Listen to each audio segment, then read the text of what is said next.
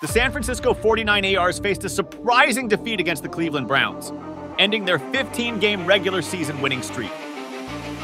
San Francisco's key players, Christian McCaffrey and Deebo Samuel, were sidelined due to injuries during the game. Jake Moody's missed field goal in the final seconds handed the Browns an unexpected 19 17 victory over the 49ers. Brock Purdy, previously unbeaten in his career, struggled with a low completion percentage and acknowledged his need for improvement.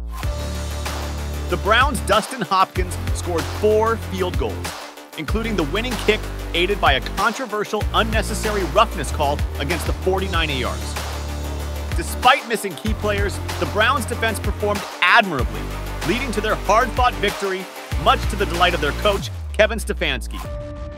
Both teams faced injury setbacks, with the 49ers' Deebo Samuel and Christian McCaffrey attempting comebacks but ultimately being sidelined. The Browns' LB Anthony Walker suffered a concussion,